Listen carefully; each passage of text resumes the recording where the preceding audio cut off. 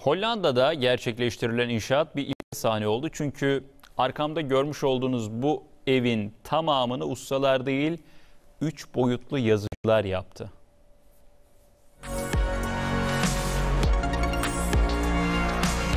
Bilgisayarlar çizdi. 5 günde tamamlandı. Avrupa'nın ilk 3 boyutlu baskı evleri sahiplerine teslim edildi. Hollanda'nın Eindhoven kentindeki evler 3 boyutlu yazıcıyla inşa edildi. Mimarların çizimi bilgisayara yüklendi. Başlama tuşuyla inşaatın ilk adımı atıldı.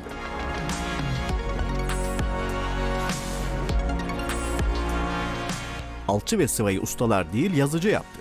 94 metrekarelik evin duvarları 120 saat içinde tamamlandı. Evin hazır bölümleri iş makineleriyle kanal kıyısına yerleştirildi. Orada da çatı ve pencereleri takıldı. İç dizaynı da son teknolojiyle donatıldı. Üniversite, belediye ve inşaat şirketlerinin ortak projesi ilk aşamada kiralık olarak alıcılarına sunuldu. Eve yerleşen aileler büyük memnuniyet yaşadı.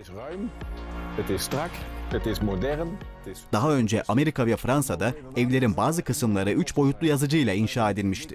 Ancak Hollanda'daki proje tamamen yazıcı çıkışlı ilk örnek oldu.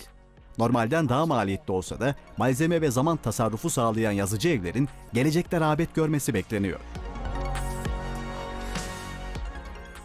Daha fazla video izlemek için kanalımıza abone olabilir, ilk izleyen olmak isterseniz bildirimleri açabilirsiniz.